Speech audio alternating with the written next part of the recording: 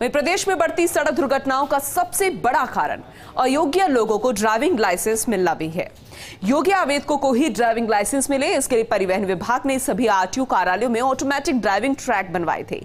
लेकिन एक निजी कंपनी को स्थायी ड्राइविंग लाइसेंस का काम देने के बाद ये ट्रैक भी खानापूर्ति ही साबित हो रहे हैं। चलिए आपको एक खास रिपोर्ट दिखाते हैं।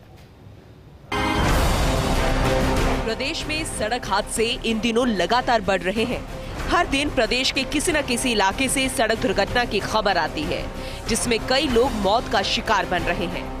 सूबे के मुख्यमंत्री अशोक गहलोत ने प्रदेश में बढ़ती सड़क दुर्घटनाओं पर चिंता जताई है और दो बार परिवहन विभाग के अधिकारियों की बैठक लेकर सड़क हादसों को रोकने के लिए ठोस कार्य योजना बनाने के निर्देश भी दे चुके हैं। लेकिन ऐसा लगता है कि परिवहन विभाग प्रदेश में हो रही सड़क दुर्घटनाओं को रोकने के लिए बिल्कुल भी गंभीर नहीं है, क्योंकि सड़क दुर्घटनाओं का सबसे बड़ा कारण अयोग्य लोगों को ड्राइविंग लाइसेंस मिलना है। जो प्रदेश में अभी भी बहुत आसानी से बन रहा है।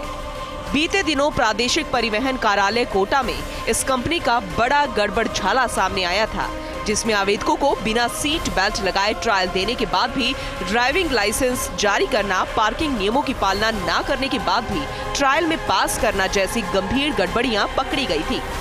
और भी काफ़ी जगह से इस कंपनी को लेकर इस तरह की शिकायतें परिवहन मुख्यालय को मिली हैं, लेकिन हैरानी की बात है कि अभी तक मुख्यालय ने इस कंपनी पर कोई एक्शन नहीं लिया है। स्थायी ड्राइविंग लाइसेंस के लिए ऑटोमेटिक ड्राइविंग ट्रैक का संचालन स्मार्ट चिप कंपनी को देने के पीछे परिवहन विभाग की मंशा ये थी कि योग्य लोग ही ड्राइविंग लाइसेंस पा सके।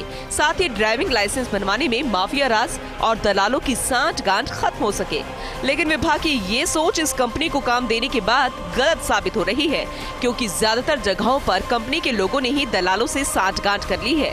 स्मार्ट चिप कंपनी किस तरह मिली भगत करके ड्राइविंग लाइसेंस जारी कर रही है, इसका अंदाज़ा इसी बात से लगाया जा सकता है कि जहाँ जहाँ ऑटोमेटिक ड्राइविंग ट्रैक पर ड्राइविंग लाइसेंस के लिए ट्रायल हो रहा है, वहाँ 10 में से 9 लोग आसानी से पास हो रहे हैं। अधिकतर आरटीओ इस कंपनी के मनमानी से परेशान है, लेकिन मुख्यालय में बैठे अधिकारियों के आशीर्वाद के कारण इस कंपनी पर कोई कार्रवाई नहीं हो रही है। चलिए अब आपको ग्राफिक्स के ज़रिए दिखाते हैं कि ड्राइविंग लाइसेंस का काम देख रही कंपनी किस तरह गड़बड़ी कर रही है। कंपनी किस तरह कर रही है गड़बड़ी? ट्रायल लेते समय जो नियम है, जैसे हेलमेट लगाना, सीट बेल्ट लगाना, इनकी पालना नहीं हो रही है। बिना ट्रेंड लोग अधिकतर जगह कंपनी का काम देख रहे हैं। ट्रायल के चरण बाद पास या फेल होने का परिणाम नहीं दिया जा रहा।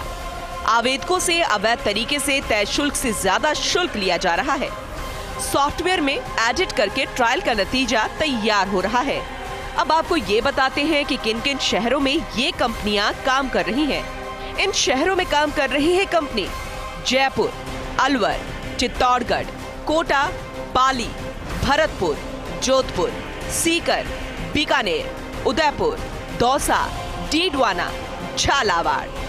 परिवहन विभाग में लगातार हो रहा निजीकरण, विभाग को गर्त में ले जाने का काम कर रहा है। फिटनेस सेंटर्स में भारी गड़बड़ी के बाद अब ऑटोमेटिक ड्राइविंग ट्रैक का काम निजी कंपनी को देने के बाद इसमें भी बड़ी गड़बड़ियाँ सामने आ रही है। अगर जल्दी ही विभाग ने इस पर लगाम नहीं कसी तो आने वाले दिनों में विभाग का अस्तित्व खतरे में आ सकता है। जयपुर से फ़र्स्ट इंडिया के लिए शिवेंद्र सिंह परमार की रिपोर्ट।